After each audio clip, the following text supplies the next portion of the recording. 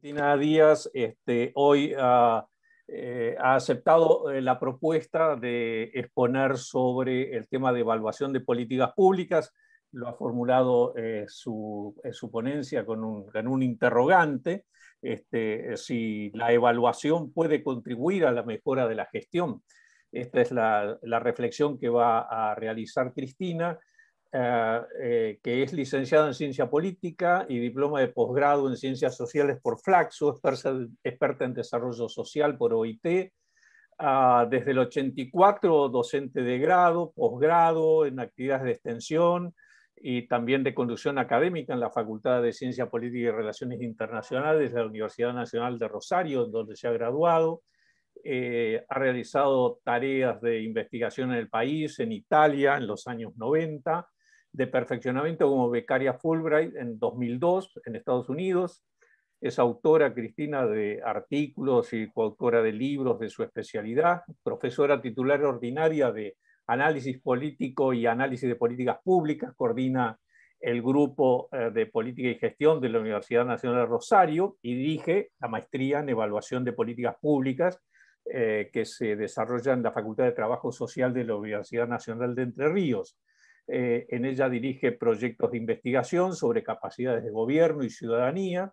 Es docente de posgrado en distintas universidades. También desarrolla Cristina consultorías en instancias subnacionales como contraparte académica en temas ligados a análisis político y de coyuntura y políticas públicas, especialmente en diseño, implementación y evaluación y mapeo de actores y escenarios para intervenciones urbanas.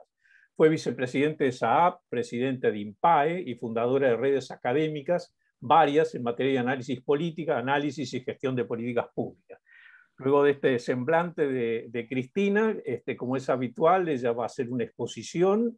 Este, ustedes pueden ir enviando por el chat eh, las preguntas o las inquietudes que eh, le van a trasladar Sergio, Rudy, Eduardo a Cristina este, cuando promedie y van a tener habilitada una encuesta, siendo esta la última actividad del ciclo, donde les vamos a pedir opinión y vamos a poderla compartir con ustedes. Este, creo que ahí posiblemente la estén viendo en pantalla, la pueden mover, correr hacia un costado y la pueden ir completando. Son cinco preguntas y cuando las terminan la envían este, y luego le haremos una devolución.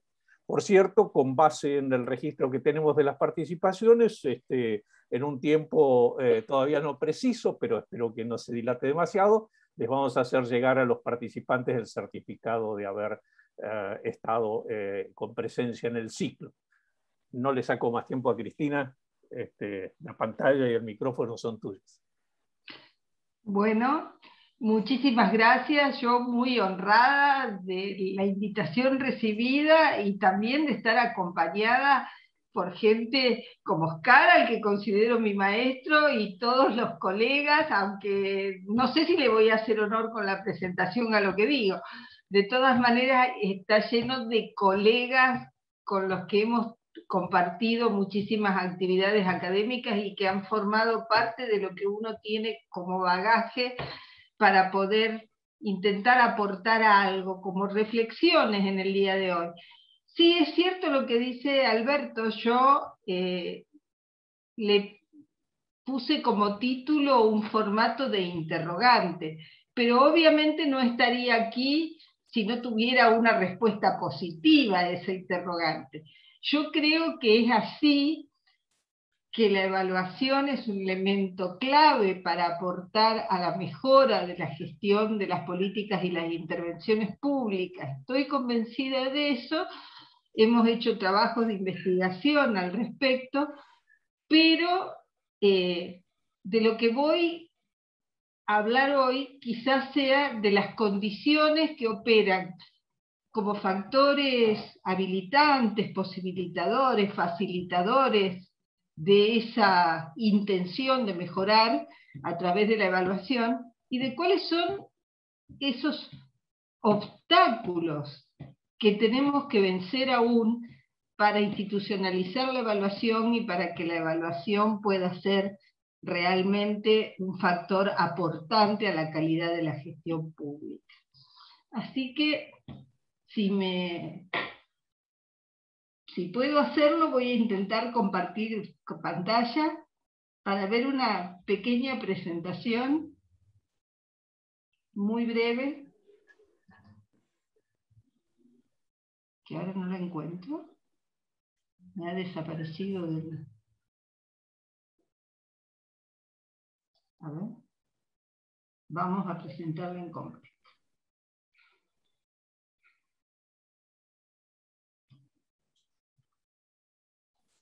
Ya se ve, Cristina. ¿Se ve? Sí, sí, Pero yo, veo- que ir yo a la la veo primera. con mi encuesta superpuesta. Voy a cerrarla.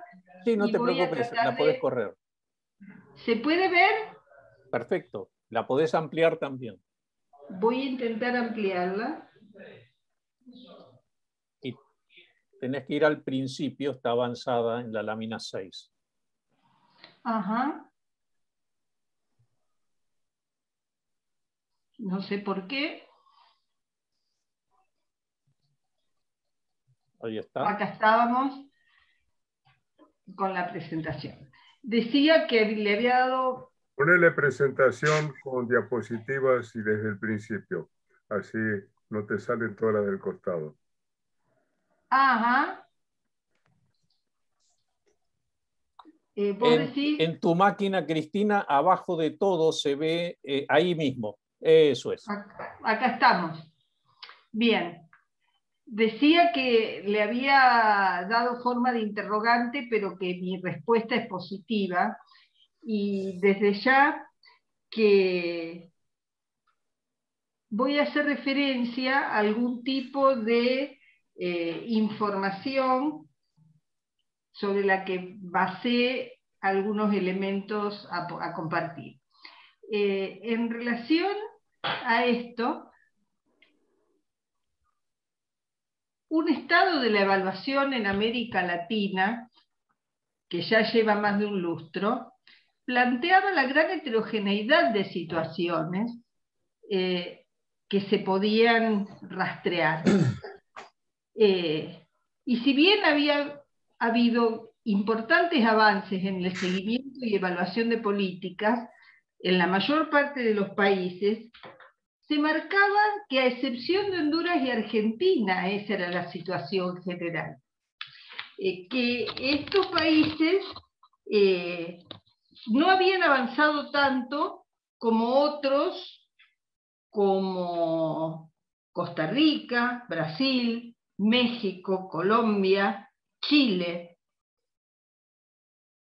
Uruguay, Perú, Ecuador, entre 2007 y 2013 habían hecho avances importantes y esos trabajos demuestran también que había habido bastante más avances en lo que hacía a la evaluación final que a los sistemas de seguimiento y de información estadística y también hacían referencia a que las metodologías adoptadas no siempre habían permitido registrar efectivamente los avances porque eh, no había homogeneidad en la búsqueda, ni en la sistematización, ni en la manera de indagar directamente acerca de obtener la información necesaria para poder, eh, por ejemplo, hacer comparaciones en cuanto al gasto público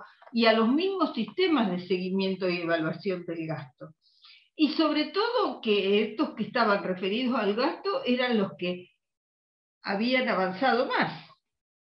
Entonces, esta introducción me parece que basta para, para preanunciar de algún modo que estamos afrontando restricciones en cuanto a un modo de institucionalizar las ideas de evaluación, las tareas propias, más allá de que se realicen en algunas plataformas programáticas declaraciones, expresiones de tipo bastante grandilocuente en relación a este tema. De hecho, el 2015 fue Año Internacional de la Evaluación y muchas cosas eh, fueron noticia, pero fueron noticia a partir de hechos puntuales referidos a algunas situaciones y en algunos lugares de esa geografía eh, vasta que mencionamos. Eh, yo quiero decir que esta situación que estaba planteada en esta, a, este, a ese momento era la fotografía, pero debemos decir que desde el 2015 en adelante, ya en el plano nacional, se han realizado muchas experiencias que podríamos decir avances en el sentido de hacer de la evaluación un componente importante del proceso de políticas. Eh, el hecho de la proliferación de proyectos que con financiamiento internacional tenían a la evaluación como un componente importante, el hecho de la alineación de buena parte de programas y proyectos con los objetivos del milenio, eh, el hecho de que instituciones como el CIPEC generaran su unidad de evaluación y la hicieran presente en buena parte del territorio nacional, apoyando la idea de una evaluación más sistemática y profesional. El hecho de que el SIEMPRO, más recientemente, a partir de la gestión de Paula Maya, haya desarrollado delegaciones en distintas provincias del país, han hecho variar en buena manera,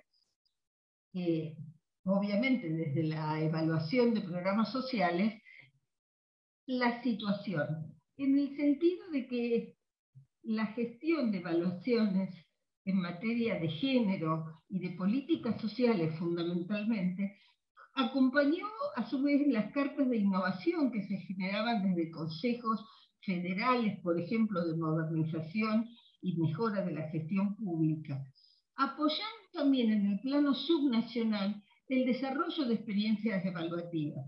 Lo mismo ocurrió a nivel incluso no de provincias eh, ya, sino a nivel de municipios que han asumido para sí la tarea de la evaluación y el monitoreo de programas ah, de algunos de alcance nacional aplicados en el territorio local y otros en el plano provincial. La provincia de Entre Ríos, por ejemplo, todos los programas alimentarios y los ligados a la agricultura familiar, ya en el marco de desarrollo productivo, avanzaron en evaluar y en sistematizar información al respecto. Y esto ha generado un cambio en relación a lo que nos ocurrió, por ejemplo, cuando intentamos hacer un mapa de la evaluación en Argentina, que para la época del 2017 eh, prácticamente se pudo recibir solamente a siete jurisdicciones provinciales, porque en, en muchas de otras no contábamos con información fehaciente y confiable como para poder decir, la incorporamos a un plano, de, a un mapa de la evaluación en Argentina. Y en ese sentido, ya estamos anticipando en esta presentación algunos de los problemas serios que tiene la evaluación de políticas todavía en nuestro país. Eh, quiero decir con esto que acompañando este esta mayor avidez por evaluación de gobiernos subnacionales, se hicieron intentos de generar instancias evaluativas en el plano nacional, como por ejemplo institucionalizar... Cristina, tu audio se pierde. ¿Se pierde mi audio? Ahí sí, si te alejas demasiado se, se pierde. Oh, perdón. Ahí se escucha a ver, perfecto. Vamos a probar. No, ahí te escuchamos perfecto. Ah, bien. Decía que este, a nivel nacional se han hecho intentos de institucionalizar la evaluación a partir de la creación de agencias nacionales que pudieran dedicarse a eso. Yo recuerdo, bajo la jefatura de gabinete de Juan Manuel Abalmedina, ese intento se formalizó, pero eh, la puesta en práctica de iniciativas de ese tenor no ha avanzado.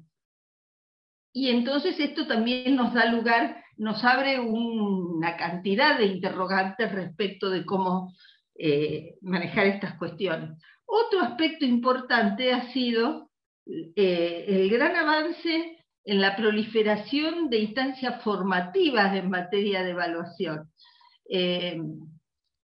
No sé si la oferta generó la demanda, pero especializaciones y maestrías en evaluación se han desarrollado en el espacio del conurbano bonaerense, de la capital misma, en instituciones académicas reconocidas, y lo mismo pasó con nuestra maestría más humilde en eh, evaluación de políticas públicas generada en Entre Ríos.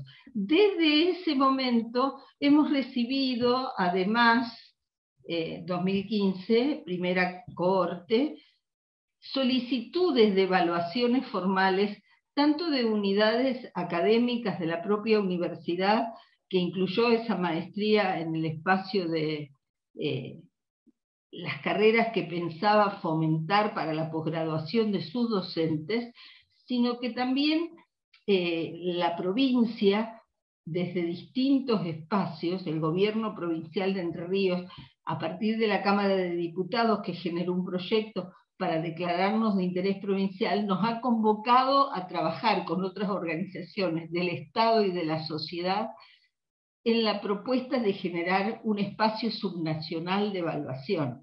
Digo esto para pensar que junto con experiencias como la de la ciudad de Rafaela, el Rafaela Evalúa, o como el Observatorio de Políticas de la Universidad de Villa María, que trabaja con gobiernos locales, han eh, avanzado mucho en generar iniciativas de evaluación más sistematizadas y con eh, metodologías probadas. Eso eh, alienta en este sentido, pero todavía decimos es mucho lo que nos resta recorrer. En general planteamos, ha habido más ruido que nueces, utilizando una expresión poco académica. Pero eh, si bien es notorio que se progresa, que se avanza, también es cierto, mirado desde espacios como el Consejo Federal de Modernización de la Gestión Pública, que ellos notan que hay menos avances en evaluación, en seguimiento y en el desarrollo de sistemas de información estadística. Y que las metodologías adoptadas no siempre permiten registrar los avances eh, comparativamente, en el sentido que eh, todavía cada agencia sigue utilizando con bastante autonomía y prescindencia de lo que hace el resto, del resto y sin efecto de demostración buena parte de su actividad. Así que en este sentido, también se registra que sobre más de 250 instituciones subnacionales dedicadas o con funciones al menos de planificación, solamente setenta y tantas son las que tienen la posibilidad de desarrollar evaluaciones sobre eso que planifican. Sin hablar todavía de otro tema central, que es el de las capacidades efectivas para desarrollar ese tipo de tareas. Eh, de manera que podemos decir que reconocemos factores favorecedores para el avance de las evaluaciones. Liderazgos sustentables y distribuidos que estructuran alguna garantía de continuidad en la materia y a su vez la consolidación de desarrollo de capacidades.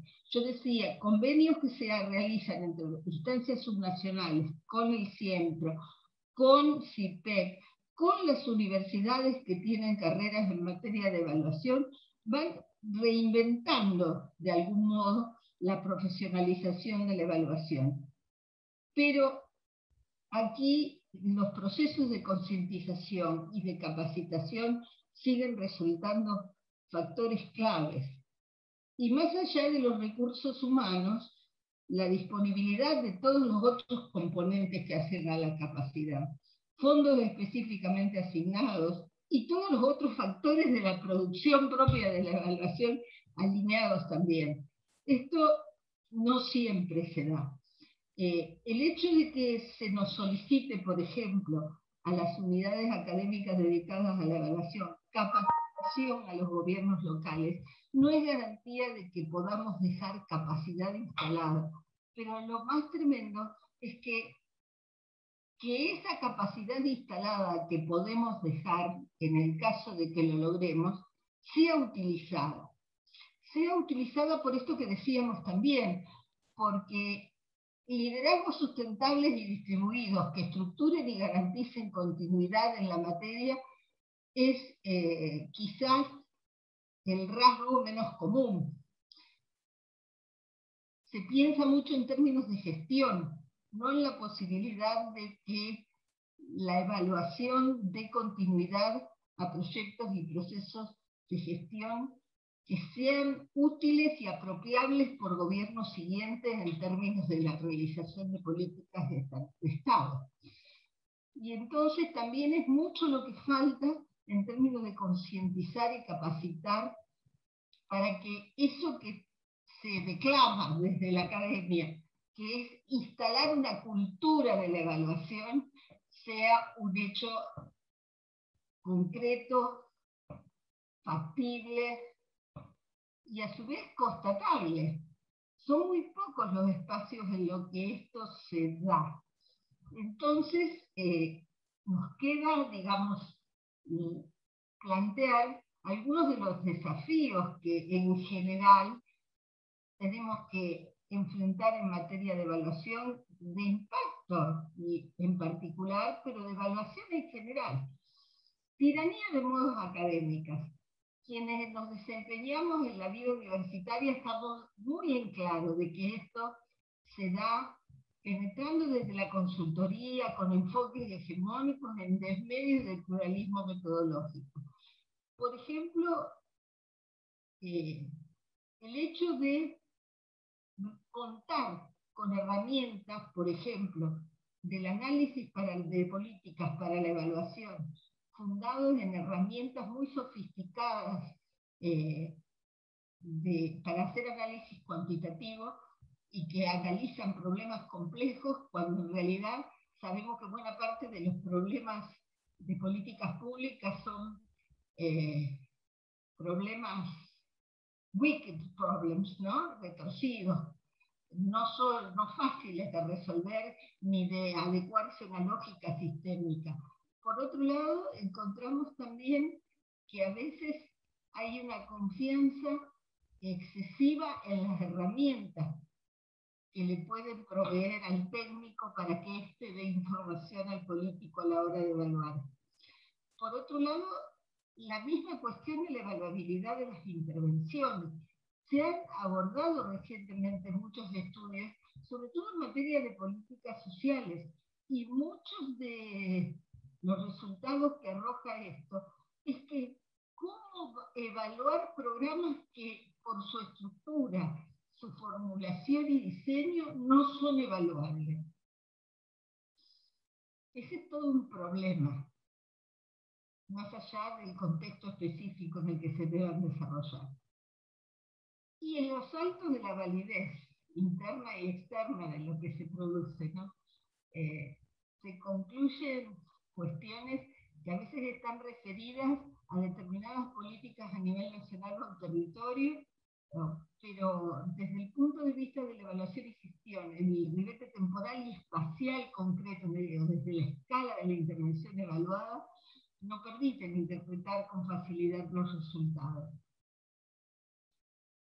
Y más allá de esto, el desafío de hacer síntesis, de hacer metaevaluaciones, revisiones sistemáticas para inferir resultados, a partir de conjuntos de evaluaciones homologables o asimilables que ya han sido realizadas. Todo esto, que son desafíos a enfrentar, siguen apareciendo en un horizonte muy lejano de aspiraciones. Perdón, Cristina, se va la voz de nuevo. ¿Se va la voz? Sí. A ver. ¿Ahora? ¿Me escuchan? ¿Me escuchan? Ahora sí, sí, sí, ahora sí. Bueno, no sé a qué se debe. Entonces, digo, me, me centro en la evaluación de impacto porque decimos, podemos quizás evaluar productos, servicios, el resultado de eso que se buscó a través de la política. Pero el tema es que mejorar la calidad de la gestión pública, sin pensar en el impacto, en lo que genera la política evaluada como transformación, como cambio en el ámbito societal y en el espacio al cual estuvo eh, dirigida, no nos da elementos para decir efectivamente estamos mejorando la gestión. Por eso digo, insisto en el impacto. Y no hay una política nacional de evaluación ordenadora de lo que se quiere evaluar, salvo en áreas sectoriales muy, muy específicas. La visión sigue siendo de corto plazo.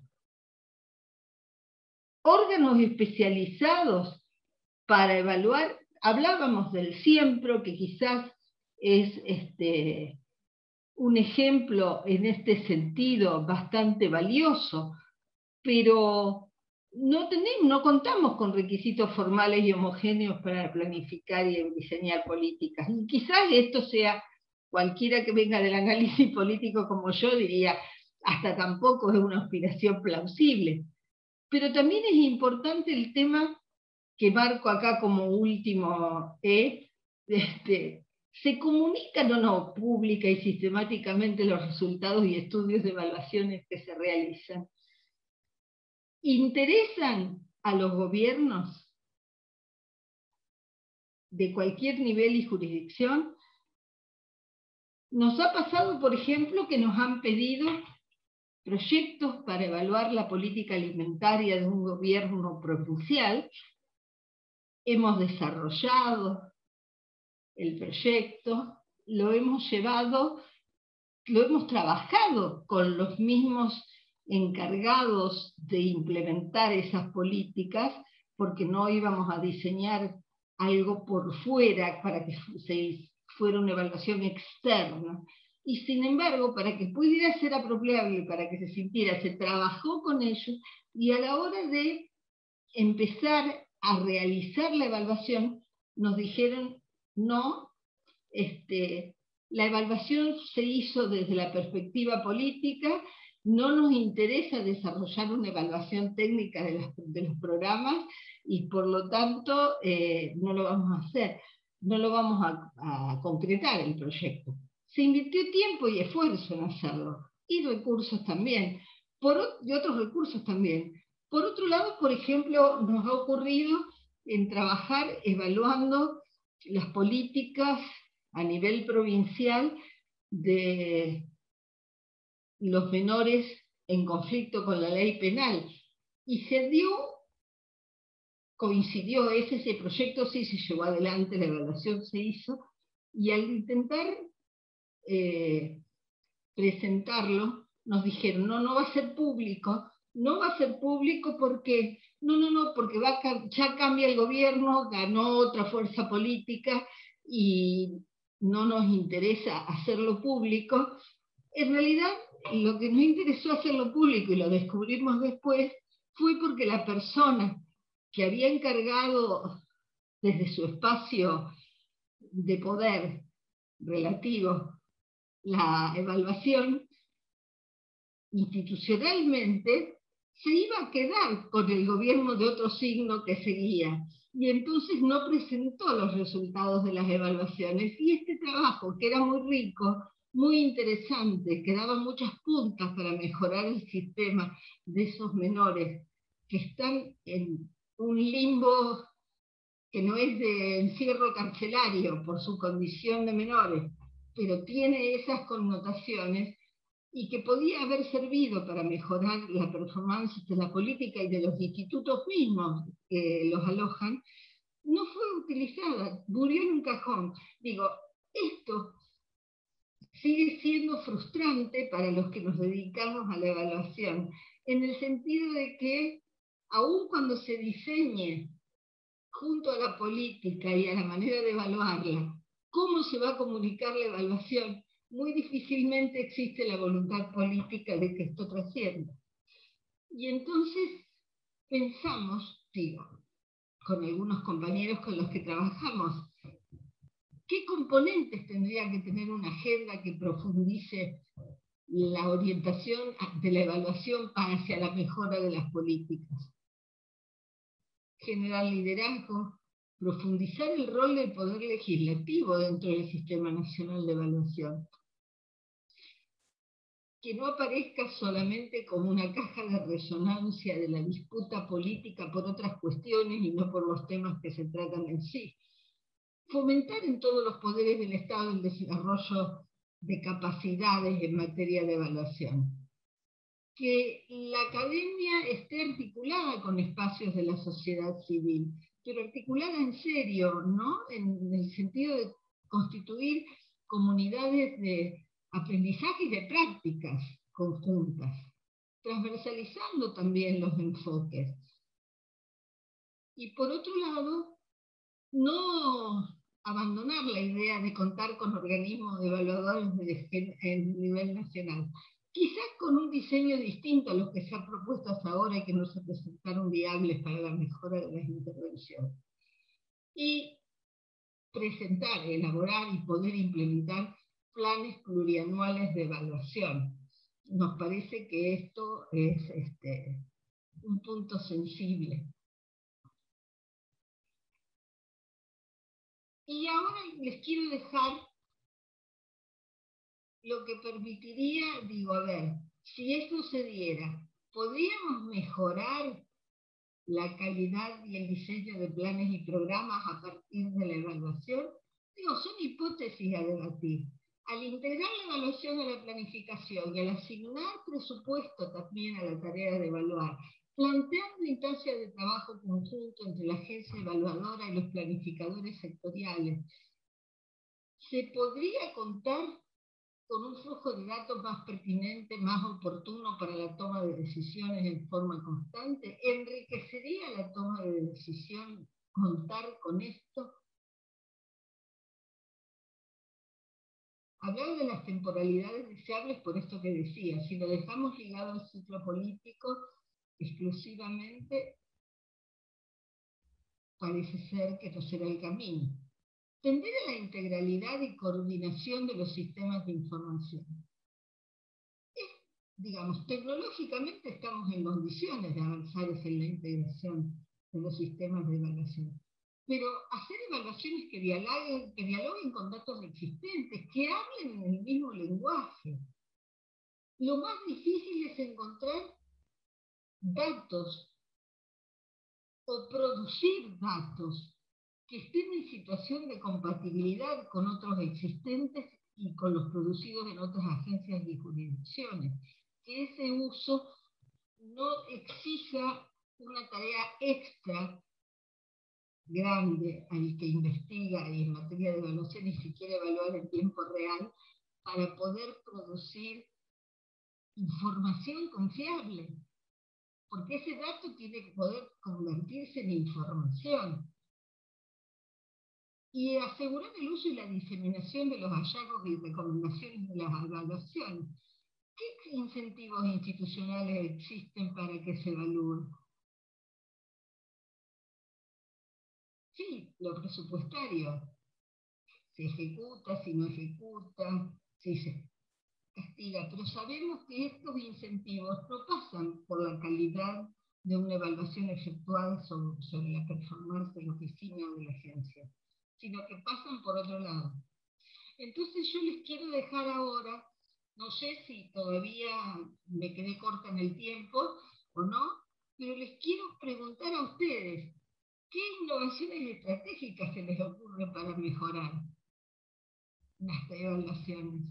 Y para que la evaluación sea efectivamente un componente que aporte a la mejora.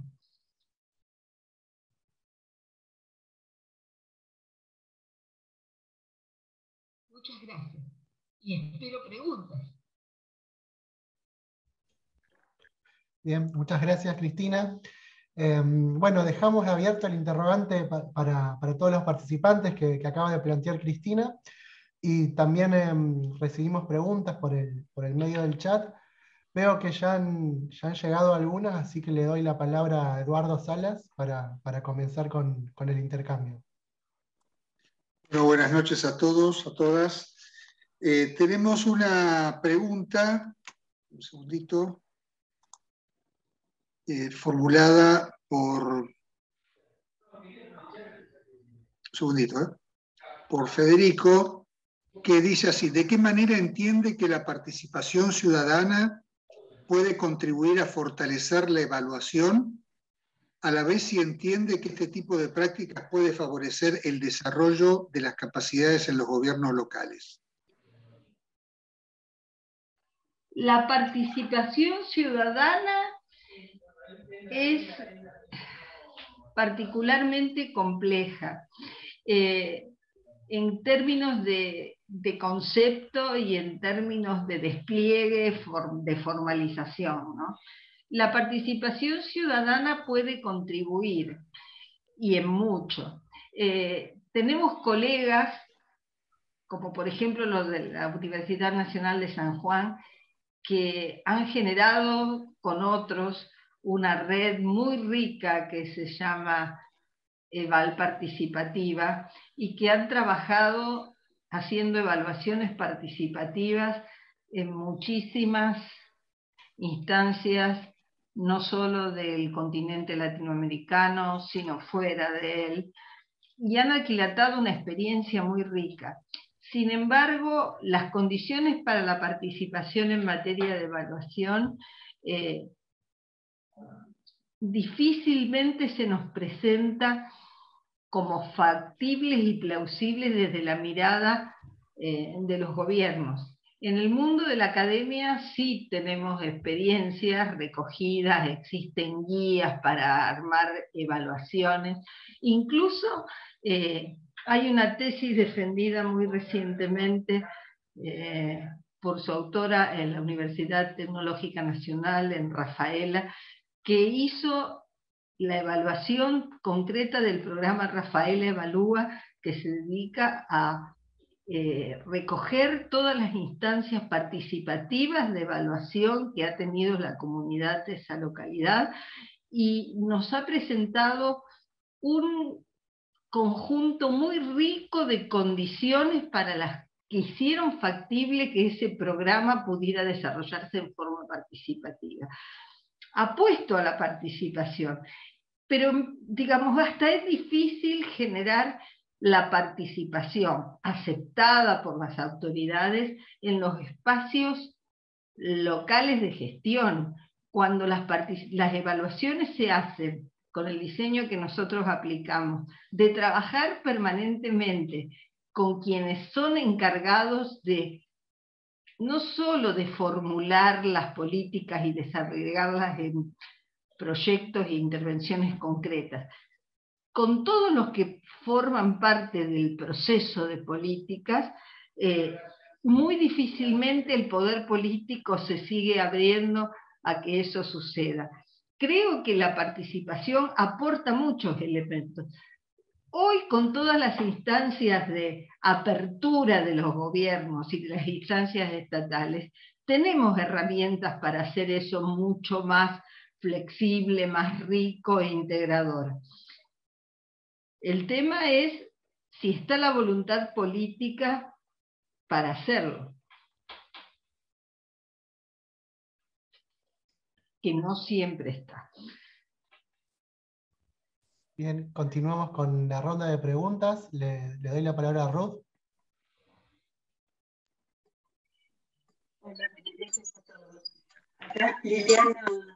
Liliana, González pregunta si han evaluado la posibilidad de trabajar con los tribunales de cuentas provinciales. En otros países, estas instituciones desarrollaron y han hecho conocer a la sociedad los resultados de las evaluaciones. Sí, el tema es eh, que muchas veces eh, confundimos evaluación con control, ¿no? Eh, y entonces, para a nosotros, digamos, desde la perspectiva de la evaluación, nos resulta muy rico la información que pueden aportar estas instancias que evalúen en cierto nivel y controlan ejecuciones.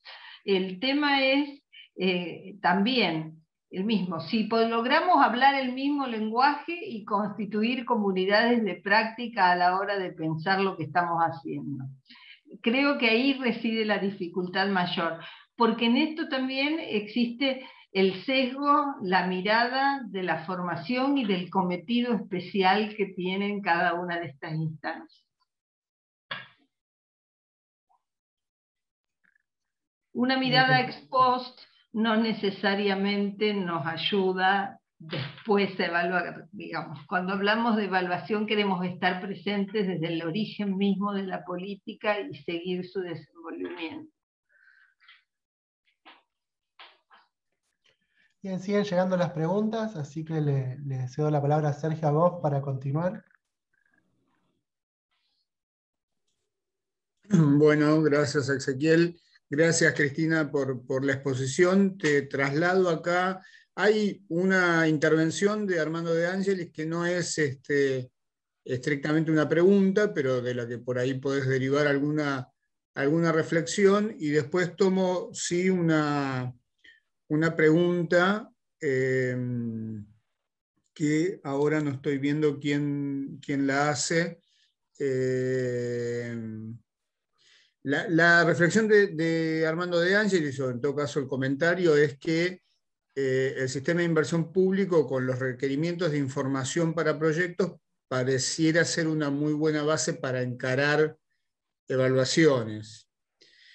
Y, la pregunta que, sigue a esta, que no, este, mm, digamos, no, tiene que ver puntualmente con esa observación, sobre la que podés, por supuesto, reaccionar también, es qué pensás sobre la creación de la Agencia Nacional de Evaluación que fue anunciada esta semana por el presidente en el cierre del Consejo Económico y Social. Bueno, Respecto de la primera, es cierto eh, que en materia de manejo de recursos financieros y, de tributos aplicados a la generación, por ejemplo, de infraestructura, siempre es factible encontrar la información. El tema es, es alinear todos los otros componentes que hacen compleja la idea de la evaluación para que efectivamente esa información sea utilizable, sea aplicable y que los resultados de esas evaluaciones sean conocidos, que las evaluaciones no se hagan a partir de mi resultado político o la legitimación que me va a generar la intervención realizada. Eh, creo que eh, en general cuesta mucho acceder a trabajos que nos eh, digan efectivamente cómo se han evaluado algunas de esas intervenciones que están registradas en el sistema. Creo que no hay un uso tampoco desde la academia misma eh, cierto y intensivo y programático de esa información. Coincido con la persona que hace el comentario, existe esa información y es útil y es una buena base de lo que pasa eh, en relación a su empleo y aprovechamiento y trascendencia comunitaria para que la ciudadanía se pueda apropiar de los resultados de esas evaluaciones, dudo. Y en relación a la, a la presentación en sociedad de la agencia por parte del señor presidente de la Nación, me permito eh, abrir eh, un paréntesis de relativo escepticismo. En relación eh, al gobierno nacional en general, soy bastante escéptica en relación a los anuncios. Ya sabemos todos que hay políticas públicas que quedan en el marco de la comunicación de la decisión, pero que no pasan de ahí. Lo quiero ver andar y por lo que le tengo visto andar, me lleno de escepticismo. Digo, hasta acá. Pero abro la puerta a que se tomen medidas en concreto, que avance, Eh, me preocupa mucho porque, digamos, uno de los lugares en los que he visto notoria intencionalidad de generar una comunidad de práctica y hacer evaluaciones sistematizadas y comparables en materia de políticas sociales, como ha sido el siempre, está en un ministerio donde no sabemos qué va a pasar en el corto plazo.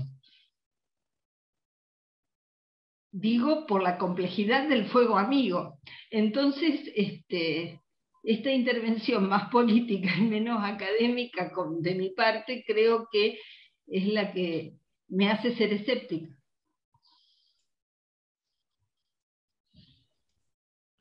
Bien. Hay varias preguntas e intervenciones más, así que hacemos una ronda más. Así que Eduardo, te vuelvo a ceder la palabra.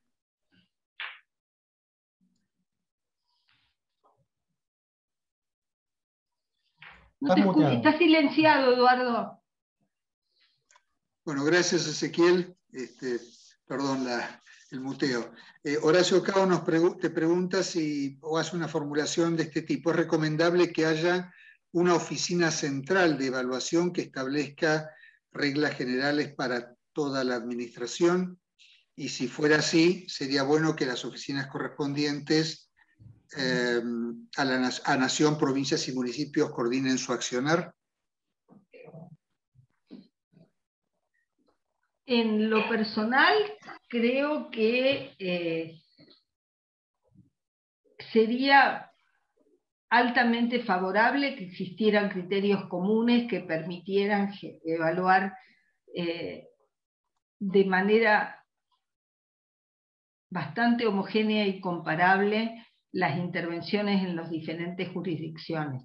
De todas maneras, creo que también esta de, generarse esa forma centralizada de pensar las evaluaciones no podría no hacerse sino en un proceso de abajo arriba, diríamos, ¿no?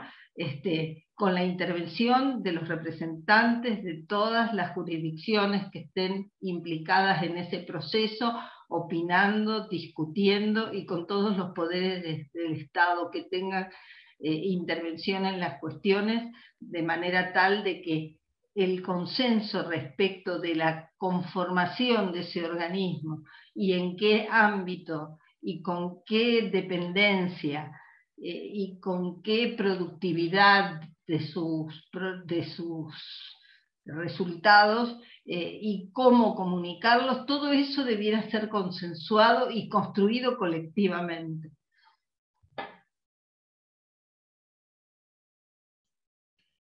Bien, continuamos con Ruth, entonces una pregunta más. También está muteada. Sí, ahora está. Sí, hay algunos comentarios que bueno, guardaremos para, cuando terminen, para que Cristina los vaya viendo. Eh, y la pregunta de Jorge de Petris es, le agradecería que me dé su opinión acerca de la evaluación de impacto, no resultados, en agencias de control regulatorias, por ejemplo, lavado de dinero, aduana, policía, y cómo medir prevención, por ejemplo. Gracias.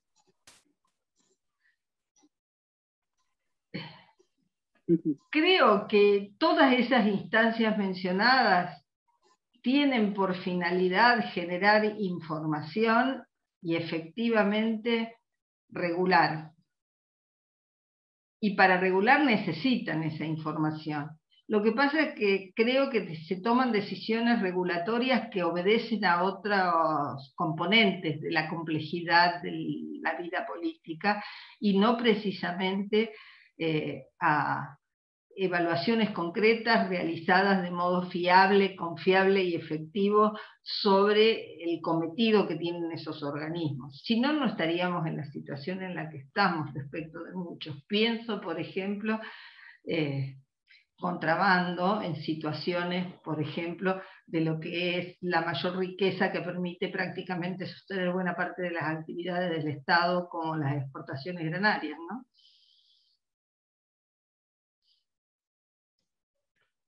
Bien, y para cerrar la ronda de preguntas, eh, le cedo la palabra a Sergio. Gracias, Ezequiel. Cristina, bueno, eh, eh, interesantes los comentarios porque además no solamente son comentarios sobre lo que vos decís, sino que son comentarios también horizontales entre las opiniones de los, de los participantes. Ah, qué bueno. Este, sí. Eh, Jorge Gince te devuelve al, me parece a mí, entiendo yo, al campo de la discusión más política, porque te pregunta qué opinas sobre la viabilidad de evaluaciones cuyas conclusiones deslegitimen a alguno de los actores. Y creo que Jorge se ha contestado en, la formulación. Digo, eh, en general, eh, las evaluaciones gustan poco por ser consideradas como una mirada ajena, pero no solamente en el mundo de la política, digo, ¿no? A nosotros nos ha correspondido dentro de la misma institución en la que existe la maestría en evaluación, hacer una evaluación de la performance de una, especialización a término que había concluido eh, su trabajo en distintas jurisdicciones del país.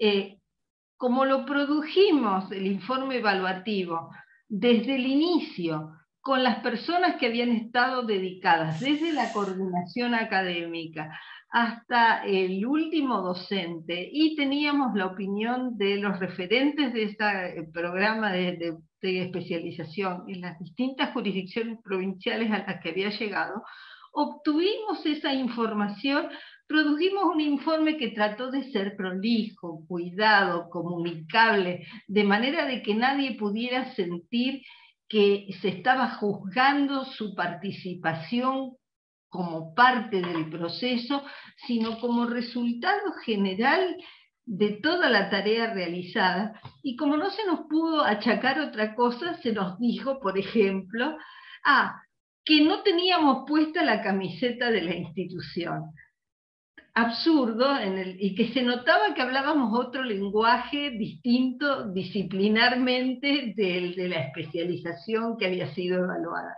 Digo, doy este ejemplo que puede parecer banal para decir que las evaluaciones, que la mirada siempre se puede considerar externa de otro y además cuando no se acuerda en algún aspecto en particular, a veces se asume como deslegitimante pero en general no llegamos a situaciones de esa índole porque el que sabe que no se ha legitimado a través de una intervención no pide una evaluación.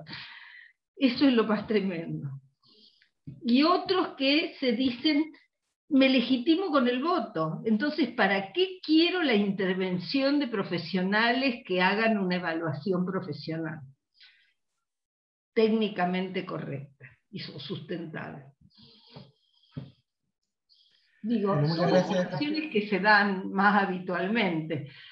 Eh, en el caso de la persona, por ejemplo, que yo dije que del Instituto de los Menores en conflicto con la ley penal, la evaluación que le habíamos hecho era muy positiva a su gestión.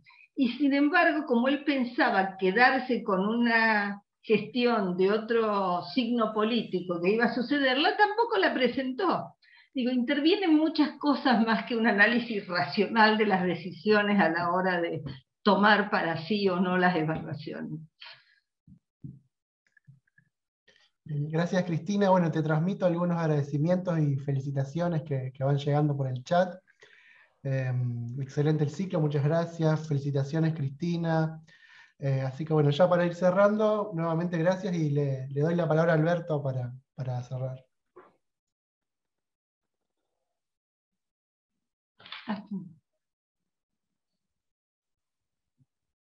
Estás muteado.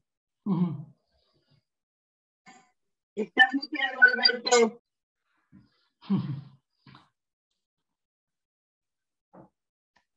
Muchas gracias, Cristina, por haber cerrado el ciclo. Eh, creo tu, tu participación fue muy, muy apreciada y comentada. Ah, dos avisos de intendencia. Uno, en la página web de la asociación, en el sector comunidades, eh, la comunidad de capacitación y desarrollo en el sector eventos, están todos los PowerPoint presentados por los expositores durante el ciclo. Y lo segundo sería que también hay una parte de videos donde vamos a subir las grabaciones del ciclo. ahí está mostrando eh, Ezequiel los resultados de la encuesta. Este, la primera categoría que le pusimos de la valoración de excelente era un poco exagerada para nosotros mismos, este, pero bueno, agradecemos este, una apreciación donde eh, mayoritariamente ese ha sido el resultado este, eh, eh, que, han, que han apreciado. Este, también respecto por encima a la valoración de la importancia de los temas, este, creo que justamente los expositores del ciclo han sido destacados expertos este, en las materias que se abordaron, entonces eh, también apreciamos que hayan visto eh, como ah, eh, interesantes y atractivos los temas. no sé si teníamos unas preguntas más, Ezequiel, no sé si se ven todas. sí. Ah, sí, perdón. Soy yo el que, el que yo no las estaba viendo wow, eh, este, vamos a tener que armar otro ciclo porque el 93% han dicho que este, participarían en uno próximo. Este, el depende se justifica porque todo depende, esperemos acertar con la temática para que sea atractivo. Este, en cuanto a la frecuencia, uy, qué repartido, este, quincenal, quincenal es mayoritario, puede ser un poquito más relajado, gracias por, por darnos esta respuesta y eh, que ha sido adecuado. Si realmente pensamos que eh, el término de una hora con la que habíamos programado esto ha sido más que razonable y creo que mayoritariamente así lo han apreciado. Muchas gracias por, por esta respuesta. A mí particularmente eh, me cabe agradecerles tanto a los participantes, este, porque se han mantenido y lo sabemos y se los vamos a reconocer así, eh, de manera sostenida durante el desarrollo del ciclo este, y aprovecho muy especialmente en agradecerle a Oscar que ha estado entre un continente y otro, este, pero que se mantuvo vinculado este, y qué bueno que llegó a este último encuentro. Este, eh, naturalmente también a Horacio Cao, que está, también nos acompañó en varias de las reuniones este, y fue quien rompió el fuego este, en la prueba este, eh, de partida del, del ciclo, este, también eh, con, con, bueno, todos ustedes dieron muy buenos, eh, lugar a muy buenos comentarios, también a Esther, que Esther también ha estado sostenidamente siguiendo el ciclo, seguramente en multitask, este, este, como, como es habitual por sus agendas, y me, me restan también incluir en estos agradecimientos a Fabián Repeto, este, y a Julián eh, Bertranú, este, que no, eh, hoy no, no, no, pudieron llegar. Así que Horacio, Oscar, Fabián, Esther, Julián, Cristina, este, muchísimas gracias. Este, eh, dejamos micrófono abierto para este, pueden hacer los comentarios. Este, es apropiado, digamos, en este momento de cierre para que al menos los panelistas este, puedan expresarse o manifestarse acá. Este, de modo que de mi parte, muchas gracias este, y comparto democráticamente el espacio este, para, para, lo que gusten eh, usarlo. Bárbaro, Alberto, fíjate de sacar la, compartir pantalla. Está sin compartir, ¿no? Ahí está.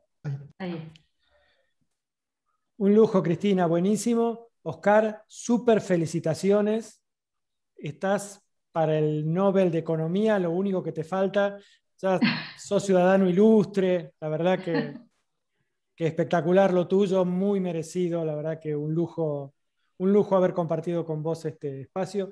Y muchísimas gracias a la comisión directiva de la AEAP que ha organizado este, este evento que ha salido buenísimo. Muchas gracias, Horacio. Yo realmente quiero felicitarlos porque creo que ha sido una actividad importante que ha permitido la participación de muy queridos colegas y bueno, me parece importante además que lo haya cerrado Cristina, a quien me une también una vinculación de tantos años. Este, tuve la oportunidad de participar en, el, en la presentación de su maestría justamente con el tema de evaluación de manera que me siento muy identificado con el tema y con la actividad que ella está llevando a cabo. De manera que felicitaciones por tu participación de hoy y a todos los demás colegas que han estado interviniendo en este ciclo.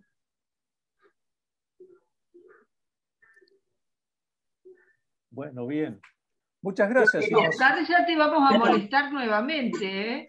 porque estamos, estás, seguí estando en nuestro consejo académico y estamos pensando en virtualizar la maestría también a partir de la experiencia de este año de trabajo, así que vas a tener que intervenir de nuevo.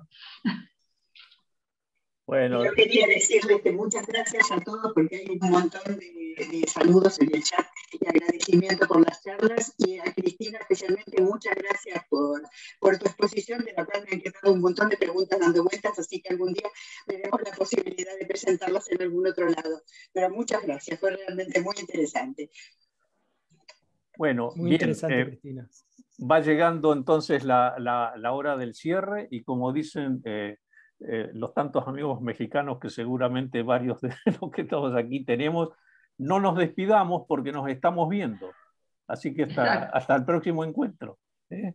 Que estén muy bien. Cuídense. Muchas gracias a todos. Un lujo verlos como siempre. Gracias Ezequiel por el control. Gracias Ezequiel. Ezequiel, un lujo. Total, un lujo total.